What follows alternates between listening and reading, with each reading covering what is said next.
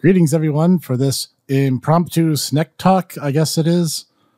With me is uh, a co host for today's episode, the man I dragged to the movies with me, Dietaku. Konbanwa Dietaku des. Yes, D- D- Diet Tacos do- does. Anyway, we went and saw the Monster Hunter movie, which let me give you a bit of background. For people who aren't familiar with this, Paul W.S. Anderson is the director and Milla Jovovich is the main character of a Capcom license. If it sounds like you have been mysteriously transported to the mid aughts and are talking about the Resident Evil film, have no fear. This movie is actually way better than those, and it's nowhere near as painful to watch. Well, okay, before we even get into that, just to kind of show off our credentials, why don't you explain, Professor, you know, your your uh, experience with the Monhun franchise, and I'll do the same once you're done. Certainly. I actually got on board. I'm going to indict myself, so I, I hope everyone at home forgives me because this is going to land me yet another sentence in bad taste jail. I was one of the seven people on Earth who bought a Wii U. Oh, I think you've already admitted to too much. it was the first paycheck. yeah. It was the first paycheck of a new job, and I was not going to do anything fiscally responsible with it. So I decided I would buy a new toy. And the newest toy on the market at the time was the Wii U. And among the very first games I picked up was Monster Hunter 3, on account that I had seen reviews of the franchise and had been curious about it, but hadn't acted on it up to that point. Basically, I picked up with 3 Ultimate, and I sucked at it. I was really, really, really bad because I kept trying to use the Great Sword and I was terrible with it. And I was even kind of afraid of Great Jaggi the first time I encountered it because I just did not understand how the game worked. Well, I sat down and I watched some tutorials and I'm like, oh, that's what I'm supposed to be doing. And I got better over time. Uh, By the time Monster Hunter 4 came out, I was actually halfway competent, and I've been a fan ever since, really. Personally, I got on with Four Ultimate because uh, my little brother and a couple of his friends started playing, and they're like, "Dude, dude, Itaku, you need to play this. You need to play this. You need to play this." And one of our friends, let's call him Bacon Bits, was really, really into the game, and uh, knowing how much of a dino Abu he turned out to be, I can understand. I mean, and they're good games. But uh, yeah, I, I started as a longsword user, and I, I'm still am a longsword user. And uh, all, all you all you babies who kind of got on the longsword train with World now that it's good, yeah, you don't know how it was in Four Ultimate to get kicked out of hunting halls because you actually had a longsword back then. It was it was painful. So uh, that that's just my that's just my hipster hipster rant for the thing. but anyways, we're not talking about the game so much as we're talking about the movie. And uh, yeah, so how was the movie, Professor? I have to say, I went into this very much to go back to my Sonic the Hedgehog review for a moment. When I went to see it, I was like, this movie's going to be bad, but I'm going to be entertained. After having seen, I've watched every Resident Evil movie. You may pray for my immortal soul. So I went into this thinking, this is going to suck. And I'm not even going to have fun from it.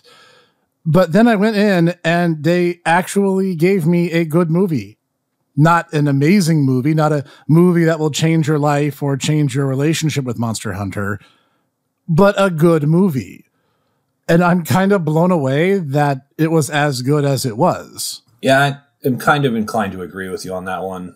Um, I mean, yeah, my, my thoughts on Sonic were about the same. I'm like, this is not going to be a good movie, but it's going to be an enjoyable dumpster fire because it's Sonic, and that's usually how it goes.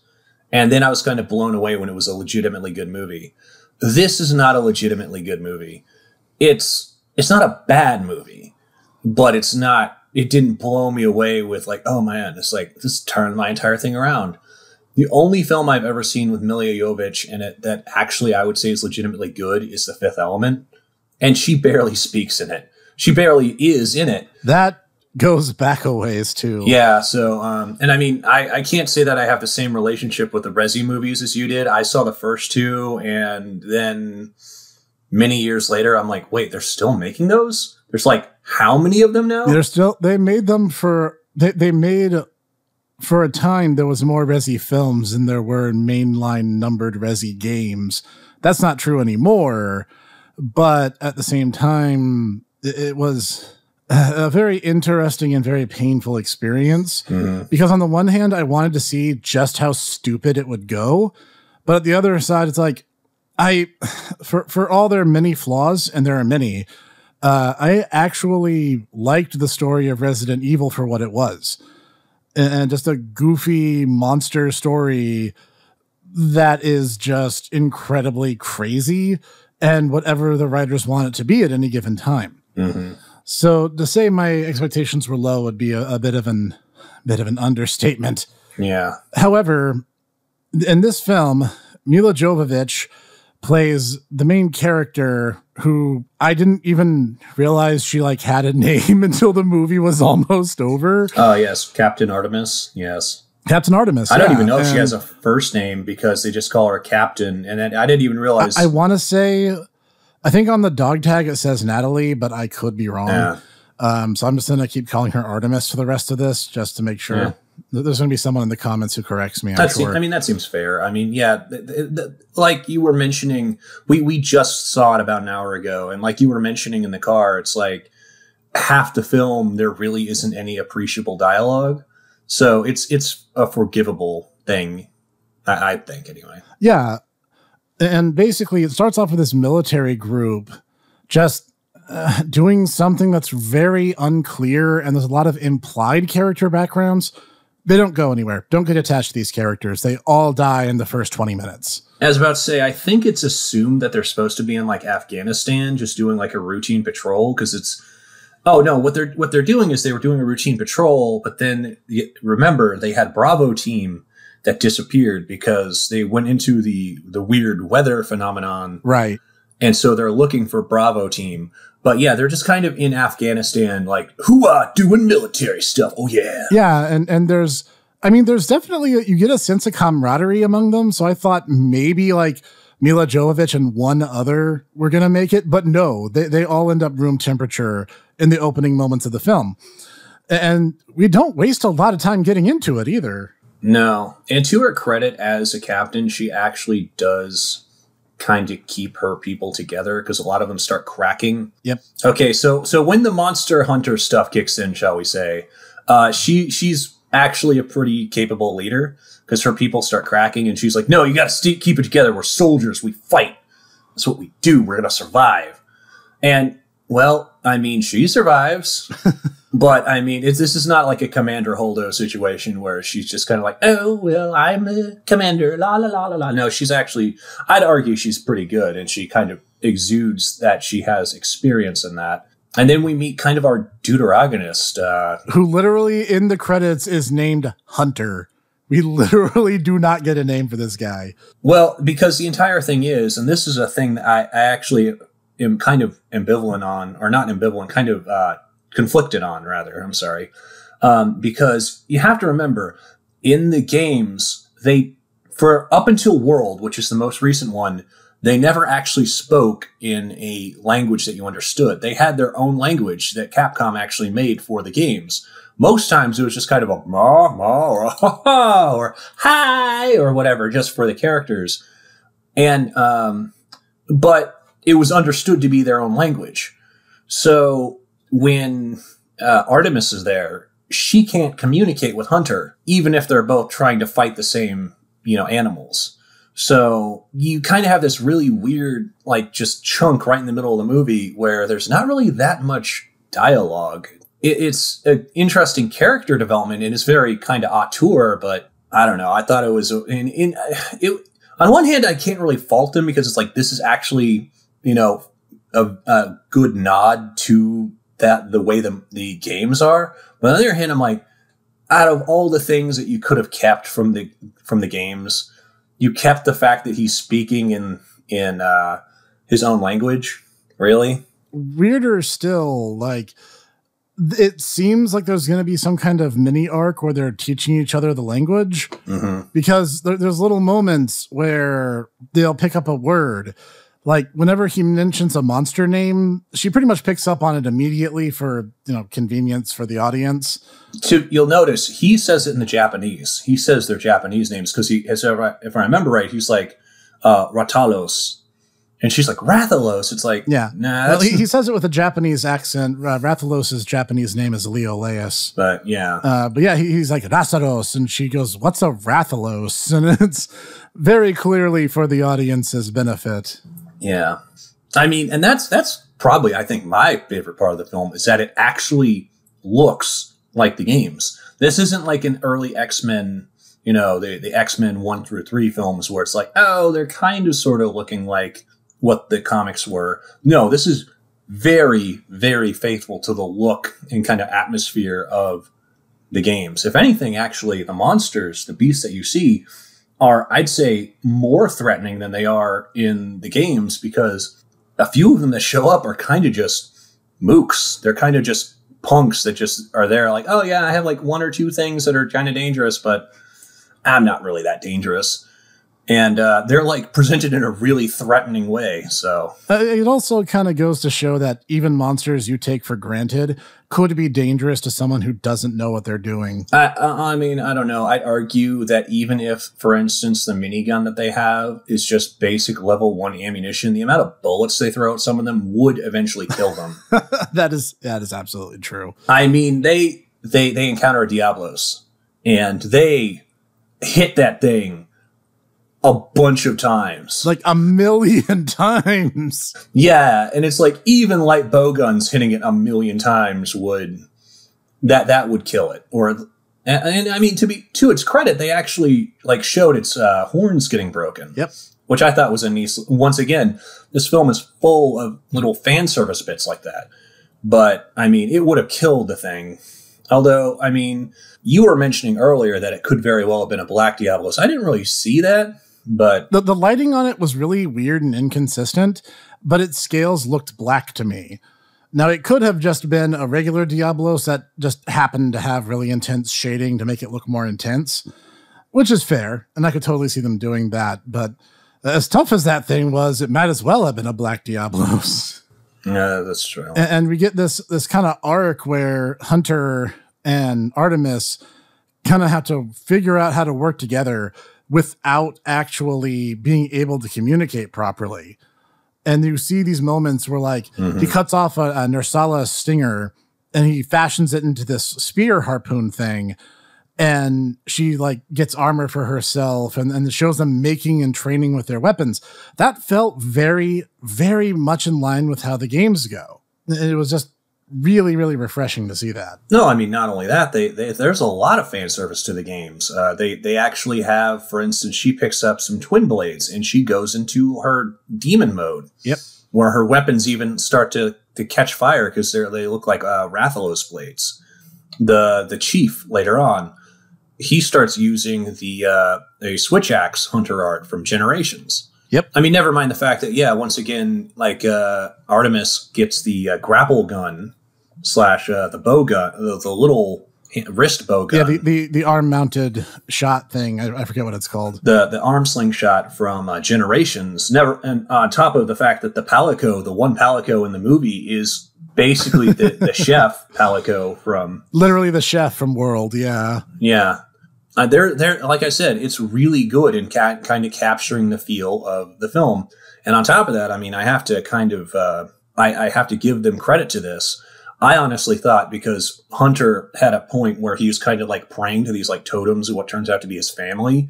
And I'm like, oh, oh, for Christ's sakes, they're going to make him like a caveman or something. Yeah. And for those of you not in the know, Monster Hunter looks like it might be just a bunch of oog cavemen, but it's actually a post post apocalyptic world whereupon there used to be high technology, but because of this ancient war between the Wyverian elf like people and the Elder Dragons, the world was basically all the technology was ruined.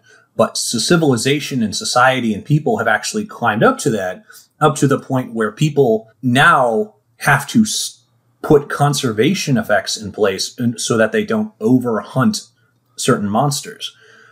Hunters are so effective now that they actually will have to stop hunting. Yep. That that's how they are. And um, it's not like oh cavemen. And yeah, I mean yeah, there are hunters, but it's not about like oh I'm hunting for meat, and more about the fact that the resources and just like the scales and stuff that they get from these animals are so effective and so good that material science that they can do with mere metal and stone and everything just does not compare. so I thought that that was really cool. I mean, it's a low fantasy world with some steampunk trappings. Like one of the very first things you see is them using one of the sand ships from uh, Monhun 4.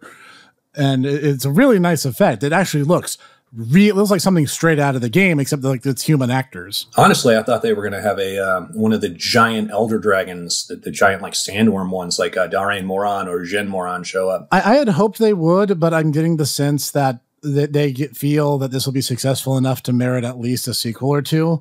So they might be saving the big guys for like the third film when they can do something really explosive. That's true. And I mean, it is very clearly left on a cliffhanger considering that, you know, they just show my boy, Gore Magala. and um, I have a special place in my heart for Gore Magala and Shagaru Magala because my, once again, I said my first, my first game in the series was 4 Ultimate.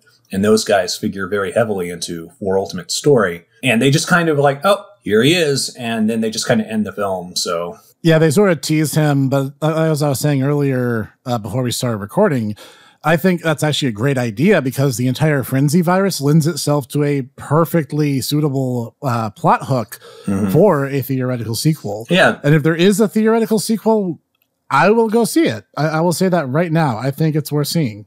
Yeah, I mean, my one, if we're, so we've been kind of gushing at this point, but I, I want to say like my one, right, like one thing that I think detracts from the film is the fact that they start with this weird isekai. Like, oh, we have soldiers and they get isekai'd into monster, into Monhun world. I don't know why they did this. I mean, the only thing I could think of is it's the entire, oh, well, these, these are viewpoint characters because I mean, not for nothing. Monhun is more popular than it was even when I got into it six years ago. Yeah. But, um, or I mean, even before you got into it there, uh, Professor, what, uh, eight years ago? Yeah, thereabouts. Uh, yeah, because that would be Tri. Uh, yeah, th- three ultimate, three ultimate, yeah. Yeah, that sounds about right. Um, but, anyways, so, but it's still a niche game. Hunting games of the type that, like Monhun, Toukiden, God Eater, these are still pretty niche,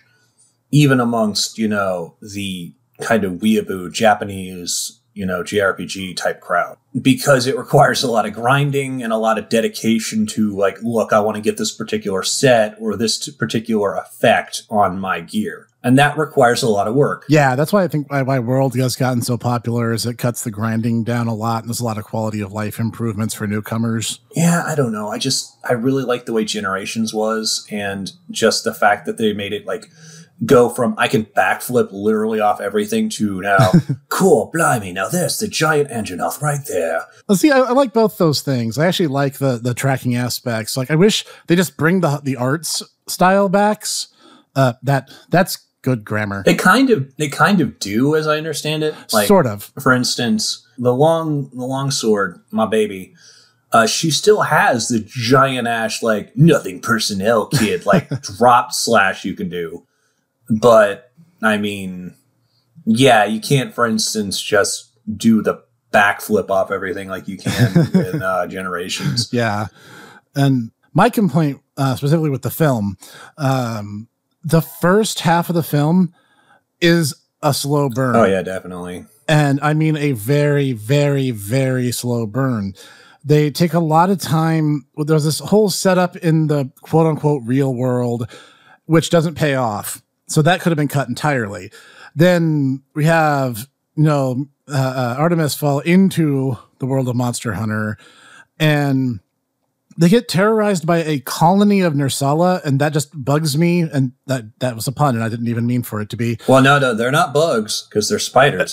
they're, they're Come not, on, Professor, you're you're a bugaboo. Technically, not bugs, no.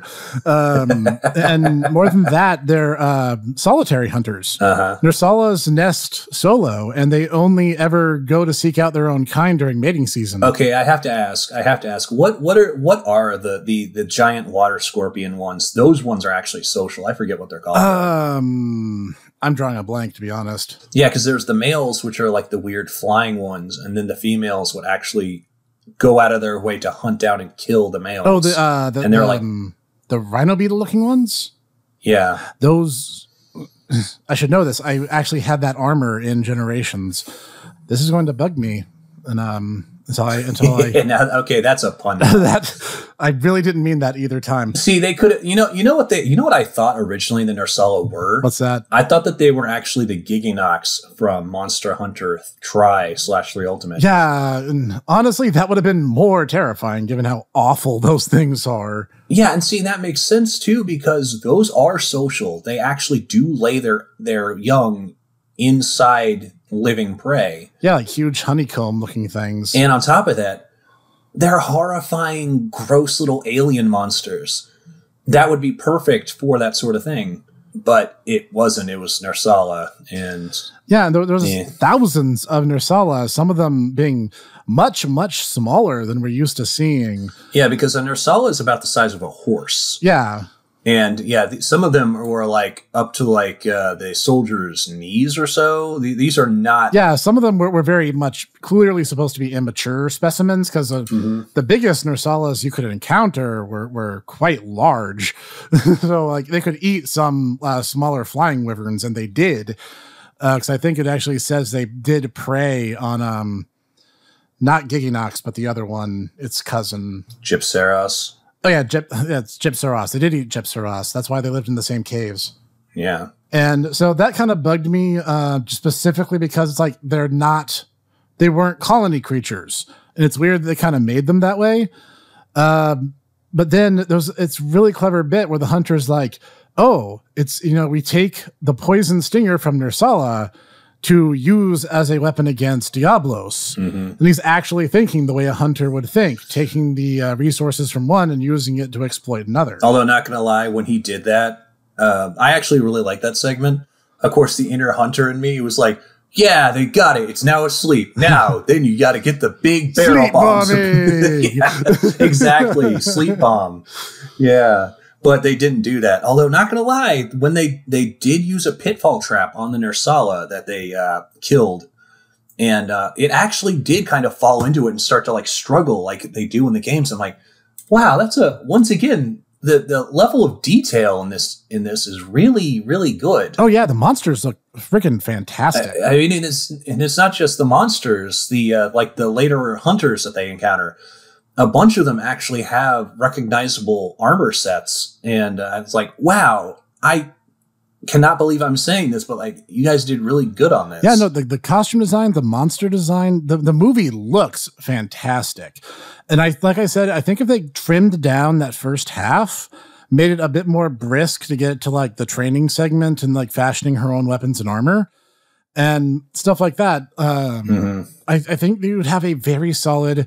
I think we both agreed that B minus was a perfectly fair score for this film. Uh, yeah. Oh, and oh, another thing, another thing we forgot. We forgot What's that? they the music was kind of lackluster. They didn't use any of the Ah, music yes. from the series, uh, either Proof of a Hero, Go Forth, Young Hunters. I mean, I don't even think they actually even used Diabolos's theme. They did not. It was all uh, music. Like at the very start of the film, they're listening to George Jones, and I'm like, listen, I grew up in a classic country household when it comes to music choice. George Jones and Monster Hunter are not meant for one another. I don't know. I could I could think of a few people playing Lynyrd Skynyrd while using the uh, the the great um, the big bow gun. You know, you you just put on Sweet Home Alabama and you just light up a Rathalos. No, no, okay, you, you you raise a very fair and interesting point there. also, the monster you were talking about earlier is the Seltas, and it's in the Neop Uh, see, I knew it was an S name. I just I could not remember. Yeah, Seltas, and it's from the uh, Neopteran family. yeah. And, and um, okay, here's the thing, Capcom. I am a huge dork for games that actually go out of their way to like classify their monsters by species and categories the way Monster Hunter does. Keep doing that. That's that's good stuff. Nerds like me will eat that up, and the more there is to read on it, the more engaged we'll get. Oh, yeah, it's weird. There's it, it kind of uh Monhun kind of has the Dark Souls situation where it's like there is a boatload of lore. But unless you're really looking for it, unless you go into like the hunting logs for like all the different monsters and see what their taxonomy is, what their relationships to one another are, mm-hmm. you won't really encounter much of it, which is a shame. But at the same time, though, I guess you go in as deep as you want. Yeah, and that's the fun thing about Monster Hunter is it has lore. Some of it you have to go hunt for, um, so to speak. And I, am just like dropping terrible puns left and right, and I swear I'm not doing it on purpose. You know what? I was letting gonna let that one slide, but okay. Not even doing it on purpose. I, I swear. But like the movie actually kind of plays on that idea. And um, let's enter spoiler mode. Cog, could you drop the spoiler warning there for us, my good man? Warning. It is a non-stop spoiler onslaught going forward. Abandon all pretenses, ye who enter here. and that in mind, uh, we see this thing called the Sky Tower, which is supposedly due to mechanisms within the tower and the geothermal energy of the area and the lightning storms that it perpetuates can rip open bar- uh, pa- passageways through space and time between the two worlds.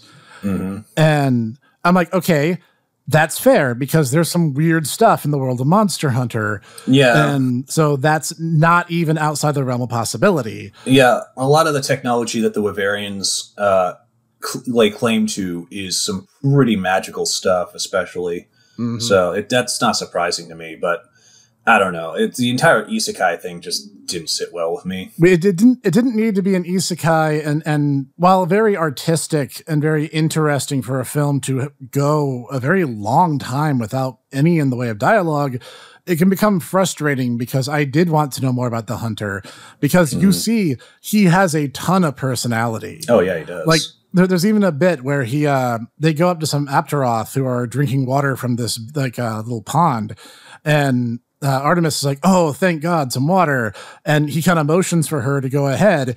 And this um, one of those little sand shark creatures, I forget their name, jumps out at her, and he just like decapitates it in one go. And he points at her and is like, "Bait," and she's like, "Oh, oh, thanks. I see how it is." that was genuinely hilarious to me.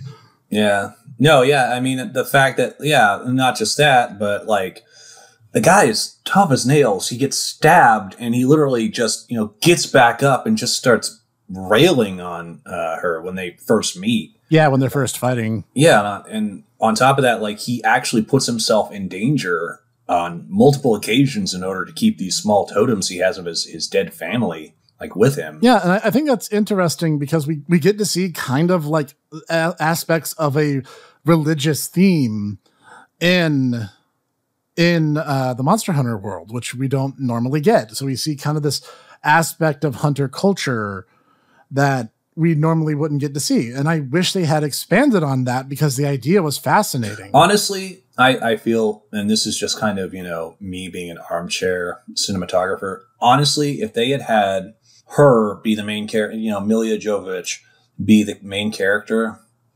and kind of the viewpoint hunter of like a hunting party that needs to go to the sky tower in order to investigate it. And she just comes from, you know, like Podunk Moga village or whatever.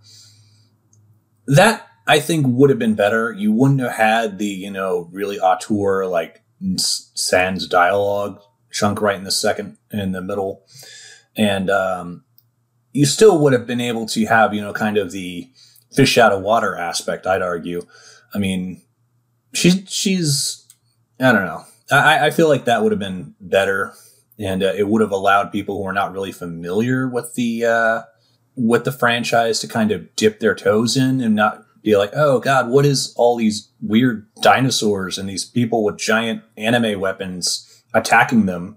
and then we wouldn't have had to have all like the you know, oh, here's all these military people. Oh, they don't matter. They literally all die. Literally don't matter. And we don't even get like their, their plot lines go nowhere and they don't end up adding anything to the story. It's like, why was this even an isekai story to begin with? Just li- like, like Dietaku suggested, have her come from some nowhere place. Like you could even have a little like a reference, like, oh yeah, she comes from Moga Island. She has no idea what the mainland's like. Mhm. A- And you'd have a, a little shout out to three there, and you can go like straight into the action without having to have the Sky Tower set up. Although, not gonna lie, the way they kill the Rathalos at the end, with the fact that the, that Hunter just unloads on the Rathalos. by the way, the final boss is a Rathalos, and he just unloads on it with blast arrows. I'm like, damn, is this three ultimate? I mean, this guy might as well be wielding a Kelbi bow because he's just like choo choo choo choo choo. Yeah, That's yeah, I was about to say that's some Kelbi Bow shenanigans, or you kill the final boss in like less than ten seconds. Yeah, he just unloads like five blast arrows on him and he just blows him the f- out. There, that's my one one bad word for the review. but I mean, he did BTFO him, so Oh no, he absolutely did. there was no doubt about that. yeah. So yeah, you said uh, about B- yeah, I, I'd argue about B minus is is fair for this. B minus is fair, and if a sequel comes around, I would go see it. I was impressed with this, and you know, Paul W. S. Anderson is no longer you know uttered in the same sentence as the likes of Uwe Boll. You are now above that, you know, and I, and I hope that you continue to rise above that. And, and I, there's very clearly potential for more here. Hmm No, definitely, definitely. I think the uh, the level of detail that they kind of put into this. I don't know if that was uh, Anderson himself or if this was Capcom being like, no, no, this is going to look like Monster Hunter if nothing else. Oh yeah, Uh, definitely. Oh, and I mean, uh, to its credit, I don't remember a lot of the trailer bits that you and I were kind of shaking our heads at actually being in the cut this cut of the film. Yeah, they, they focused a lot on like moments that would have been in like the movie's opening 15 minutes. But it seems like even that got chopped down a little bit. Yeah. So uh, all in all, you know, I, I, it's not a good film, but it's not the train wreck I thought it was going to be, which is weird. It's a good it's a good popcorn muncher to watch with friends and honestly in this time where there is kind of a dearth of movies, I'd say it's worth the investment to go see it in theaters if you get the chance. yeah. Well, thank you very much for having me, Professor. It's always a pleasure. Certainly, it was a pleasure having you with me both for the film and the review. Yeah, I had fun. We should do this more often. Yeah, definitely. Yeah, actually bother going to the movies. We'll see what we can do. Alrighty. All right, everyone. This is Dietaku and the Hipster Snek signing off for now. bye bye, everybody. Hey, everyone. Thanks for watching. And if you're still watching, I just wanted to let you guys know that I wanted to extend a big thank you to all my viewers for helping us recently break the 250 subs milestone. That is crazy to me. The fact that we did it so quickly is all thanks to you and you guys supporting me. And it means the world to me. So I want to give a little something back in return. Between now and the time we hit the 500 subs mark, both on my YouTube discussion page tab and over at my Twitter at Hipster Snek, there is now an open AMA or Ask Me Anything where you guys can ask as many questions as you want. When we hit the 500 subs mark, I will sit down, make the video, and answer every question that doesn't get me banned off YouTube. The posts are already there and pinned, awaiting your input. I'm curious to see what you guys are curious about. So I'll see you at the 500 subs mark with all the answers that you've been craving, and I will see you there.